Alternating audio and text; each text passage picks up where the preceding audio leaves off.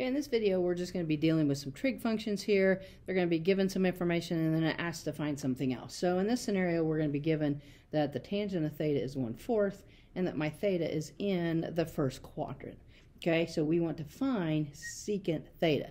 Now, there's a variety of ways we could do this. You could use Pythagorean identities, all right, but you could also just use some right triangle trig.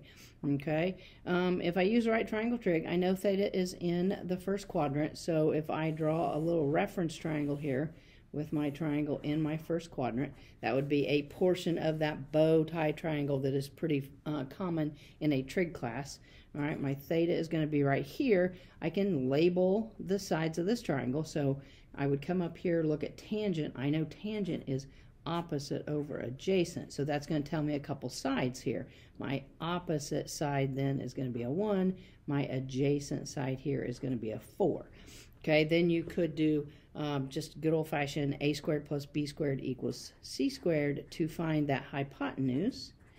Okay, so a little Pythagorean theorem because I got a right triangle here. So 1 squared plus 4 squared equals c squared.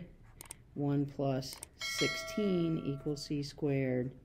So 17 equals c squared. That means my hypotenuse is going to be the square root of 17.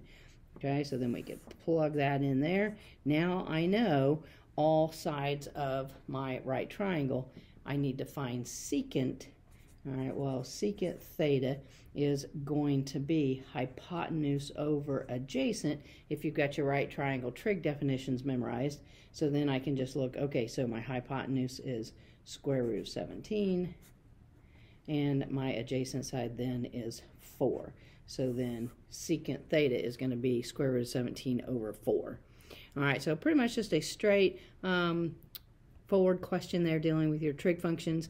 And like I said, I chose to do the bow tie triangle and use a little bit of right triangle trig. You could have also used the Pythagorean identities as well and solved it that way.